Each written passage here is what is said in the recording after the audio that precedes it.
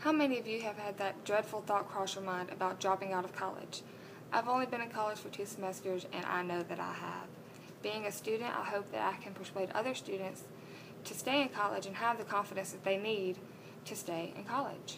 By getting a degree, you give yourself a chance to work in a career field that interests you, get paid enough to live the life that you want as opposed to only what you can afford, afford and just have a better life for your family in general. You go to college to pursue a degree that you find interesting. A lot of people work at places such as Walmart, convenience stores, fast food restaurants, and they don't like their jobs. A career you find interesting will have you wanting to go to work every day. Being interested in the job, also you put forth more effort towards getting it done correctly and give it 100%. Not only will you have interest in your job, but the employment is also higher.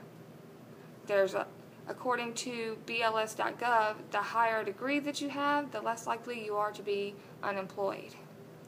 Secondly, being able to live the life that you want as opposed to what you can afford is a great reason to stay in college. Bill Droll from theglacier.com stated that college students college graduates make about 22,000 more a year than high school graduates. Just that little bit of an increase can drastically affect the way that you carry your day-to-day life. Many people are working low-paying jobs, making nothing, barely making ends meet to pay their bills. EarnMyDegree.com says education has become an optimal route to professional success.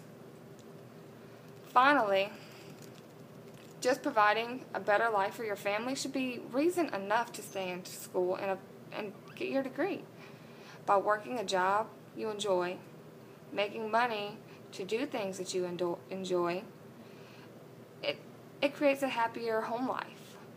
According to Fred Zucker of C- UCTV.tv, college graduates earn more money, vote more often, remain married longer, do better on Jeopardy than any non-college education educated peers. MyCollegeOptions.org states that college graduates also have more accessibility to benefits such as 401k, health care plans, and retirement. Healthcare alone is well worth everything you go through for college. Just healthcare is enough. This also creates safety. The healthcare plan, retirement, 401k creates safety in the family. So if anything happens to you or anybody else in the family, you have the options to take care of it. You can also start saving for your children's college experience so they don't have to take out all student loans like you had to. Overall, I hope these are reasons enough to persuade you to stay in the college.